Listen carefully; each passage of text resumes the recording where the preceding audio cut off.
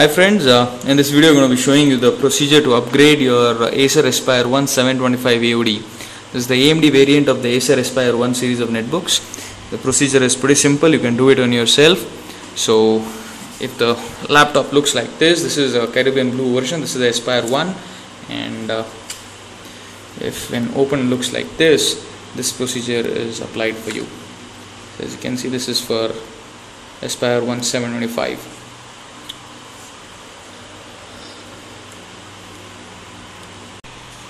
Alright, the first thing that you need to do here is uh, flip the laptop, see to it that the laptop is put off and uh, you need to remove the battery. For removing the battery you need to have a small screwdriver in hand as you can see uh, this particular part here you need to put in a screwdriver and the battery will come out.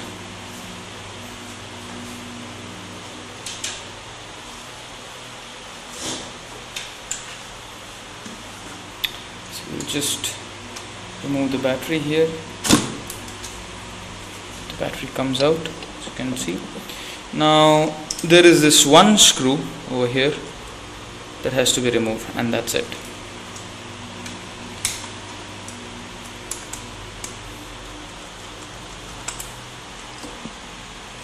Now with both your hands just uh, move this entire lid upwards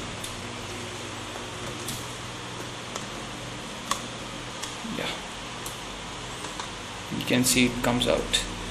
As soon as it comes out you can see everything exposed here. You can get the hard drive you have the RAM here the Wi-Fi chip you have the fan which if you want to clean and uh, that's it. So let me just show you what RAM it has and how it has to be upgraded.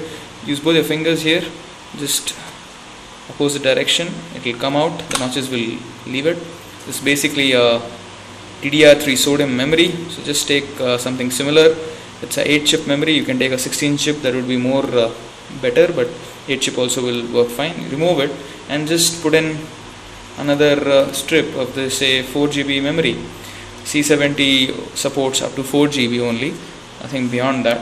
So can take the RAM and just put it on near the notches here and very gently press it. So this is the RAM.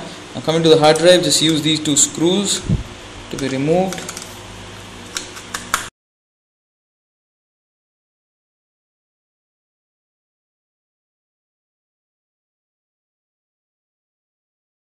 And take the hard drive and push it on the right side.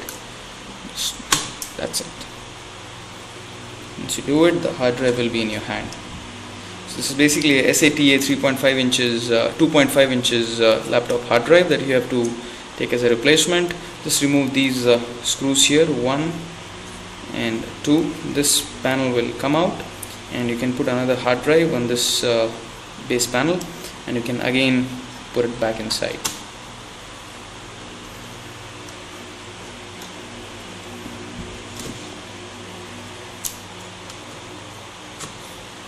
alright so this my friends uh, was a video showing you how to upgrade the RAM and the hard drive of the Acer Aspire 725 hope you liked our videos. Do let us know of your suggestions and comments.